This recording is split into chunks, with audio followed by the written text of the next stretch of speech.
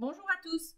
Aujourd'hui, on voit ensemble comment proposer du lait maternel à un bébé en dehors du sein. Le biberon, on en reparlera dans une autre euh, vidéo. Il peut interférer avec la succion, physiologique pardon, normale de votre bébé. Donc c'est mieux d'essayer avec d'autres euh, alternatives avant pour pouvoir préserver la, la durée de l'allaitement maternel en fait. Vous pouvez donner à boire le lait dans la cuillère à votre bébé. Moi j'ai pris une grosse cuillère mais dans une petite cuillère pour un petit bébé c'est très bien. Vous installez votre bébé dans votre bras, il est quasiment assis et vous allez lui proposer du lait quasiment à fleur dans la cuillère et vous allez lui poser comme ça.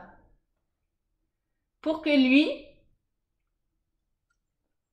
il vienne laper le petit lait qu'il y a à l'intérieur avec sa langue.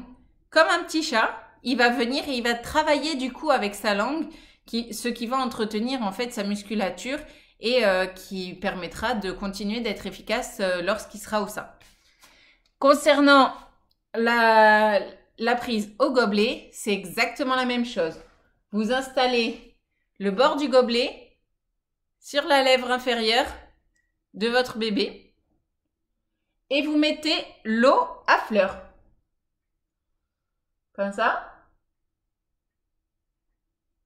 Et là, bébé, il lèche.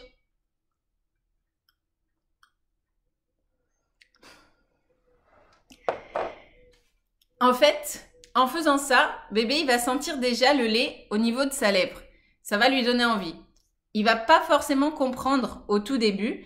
Et puis après, il va comprendre que quand il va chercher avec sa langue, il arrive à attraper du lait. Donc en fait, il va, il, va, il va comprendre et rapidement, il va boire de plus en plus vite en en faisant tomber le moins possible.